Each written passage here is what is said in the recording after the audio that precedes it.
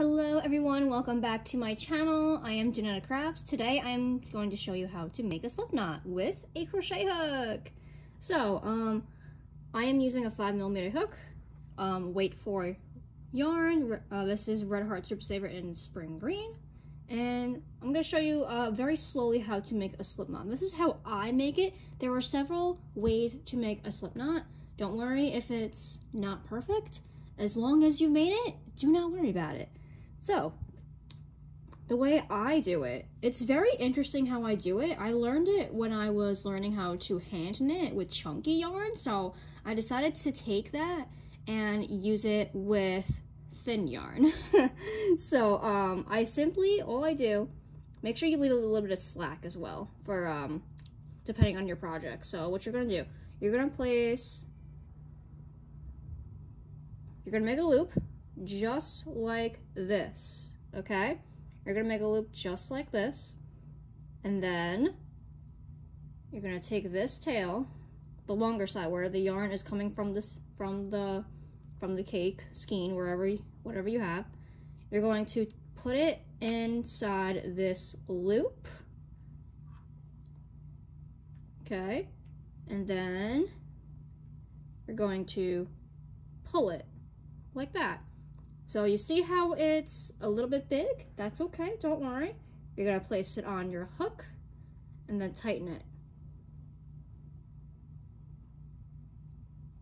Just like that, and you have a slip knot. So I'm gonna do that again. I'm gonna do that again, okay? So again, take the yarn, preferably the, the string that's not the tail. So you're going to place it above the tail just like that.